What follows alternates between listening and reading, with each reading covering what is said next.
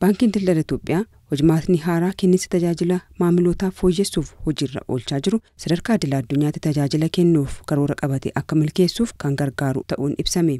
Baankii Daldala Itoophiyaatti Daayirektarri jijjiirama tajaajila baankii waliigalaa fi CBA Nur obbo Ermiyaas Gitaachoo hojimaanni haaraa kenniinsa tajaajila maamilootaaf fooyyessuu kun hanga ammaatti dameelee baankichaa kudhan filataman keessatti hojiirra oolaa jira jedhan.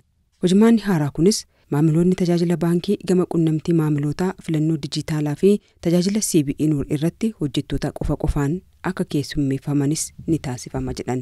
Kun ammoo maamiloonni dameelee baankii irratti tajaajila yeroo barbaadanitti akka argatan taasisudha jedhu obbo Ermiyaas.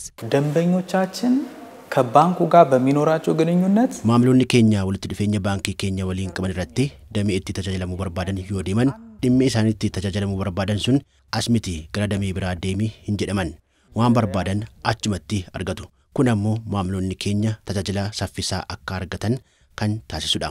Hojimaanni haaraa kun maamiloota qofaaf osoo hin taane hojjettoonni baankichaas haala mijataa keessatti tajaajila saffisaa ta'e maamilootaaf kennuun bu'aa qabeessa akka ta'an kan isaan gargaarudhas jedhan.